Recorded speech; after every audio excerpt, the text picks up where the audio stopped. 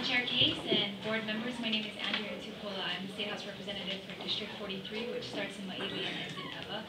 Today I'm testifying as an individual um, against the proposed rules and just kind of wanted to share some of my thoughts.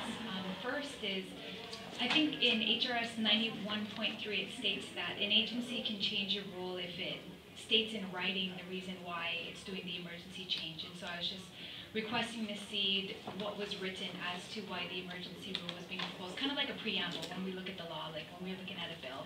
It just says kind of how it came about. Obviously, you know, there's certain reasons, but I wanted to see in writing like how how it came to this solution, because there's many solutions that could have been proposed, but this is a specific solution. And I think also the things that other people have been bringing up about other current laws, I mean, as a lawmaker, I know that the public loses trust in us when we don't abide by the law. And so they're losing confidence in us because we need to check our, check to make sure we're not violating any of their laws. And if there's any support we can give you with people that can help you to look into that or whatever it may be, because it seems like we're crossing into a lot of different bounds that perhaps are unintended. Maybe the original intention was to protect the people that are there, but now it's just into every area that may or may not be the original intention of this rule change. Secondly is the unintended consequences. Um, something that was brought up earlier by Andre was in regards to the civil disobedience.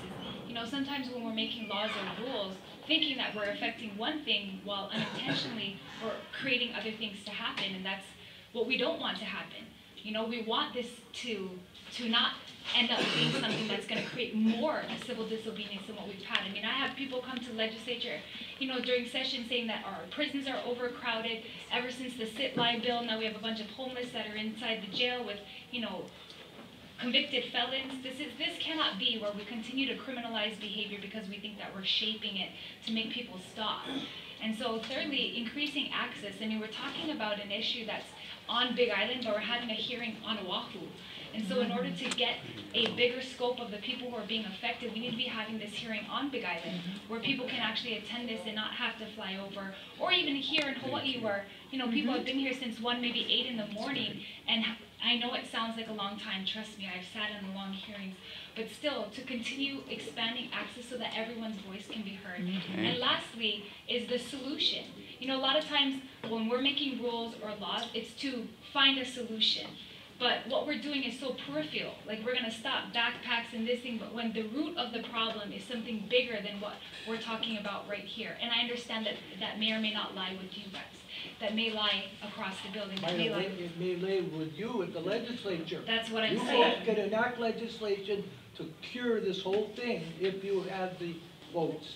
Well, and that's what I'm saying is that doing this rule is very peripheral, whereas we may need to solve this problem that's much bigger and there's a root of it. And so lastly, I just wanted to say that I'm not coming up with these conclusions blindly. I have met with the chancellor here, I've talked with him, I've read through the court cases, I've gone up to Mauna Kea, I've met with the people. If you need somebody to stand in the gap and try to communicate or try to find some type of solution for this, I will do it. If we need somebody that needs to go up there and try to figure this out, we should. Because I don't think by continually ignoring the people that are up there that it's going to get any better. Or by making a law or a rule here on Oahu that affects Big Island is going to make anything better either. So we need to sit down and be realistic with ourselves. Are we really doing what we need to do to come up with creative solutions? The people of Hawaii are depending on us. They're depending on us to protect the land and to hear their voices. So if you need help, if you want us to help, and we have lawyers that work for, we will come and we will help. I will come and I will help. I will go to the Big Island and I will help to advocate to help get the people protected if that's what needs to happen. Do I think that a law or a rule is going to change the behavior? Probably not, and it might worsen it. But we should think about that. What is this going to do adversely instead of being proactive? We're just reacting. Oh, this happens, let's react. So we have a choice here. We can initiate something mm-hmm. Proactive that's going to help the people as opposed to restrict them or cut them off, ignore them, or stand on a Oahu and tell people in the Big Island what we think. So if you want me to take that there, I will. Whatever you need help with, I'm there to help. That's what I think that we can do to make Hawaii better is have agencies work together, be more collaborative instead of divisive. And that's the same way we need to make legislation and rules.